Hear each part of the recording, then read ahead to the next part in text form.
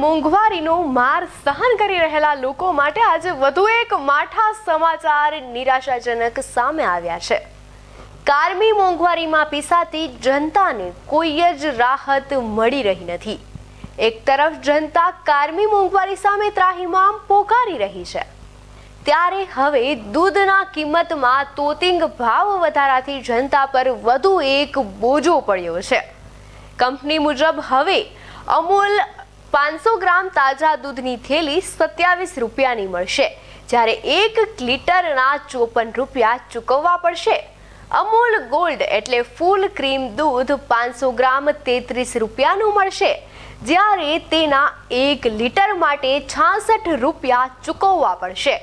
અમૂલ ગાયના દૂધના એક લીટરની કિંમત વધીને છપ્પન રૂપિયા થઈ ગઈ છે. જ્યારે અડધા લીટર માટે અઠ્યાવીસ રૂપિયા ચૂકવવા પડશે. જ્યારે ભેંસનું એ ટુ દૂધ હવે સિત્તેર રૂપિયા પ્રતિ કિલોના ભાવે મળશે. રાજ્યમાં મોંઘવારીથી જનતા પરેશાન થઈ ગઈ છે. પ્રાથમિક જીવન જરૂરી વસ્તુઓના ભાવમાં તૂતિંગ વધારો નોંધાઈ રહ્યો છે. શાકભાજી, કઠોળ, દૂધ, ખાદ્ય તેલના ભાવ આસમાને પહોંચ્યા છે. તેમાં પણ બાકી હતું તેમ અમૂલે દૂધના ભાવમાં ત્રણ રૂપિયાનો વધારો કર્યો છે. જેના કારણે ગૃહિણીઓનું બજેટ ખોરવાયું છે. એક તરફ તેલના ભાવ પણ આસમાને છે, તો બીજી તરફ દૂધના વધતા ભાવે તો ગૃહિણીઓની કમર ભાંગી નાખી છે.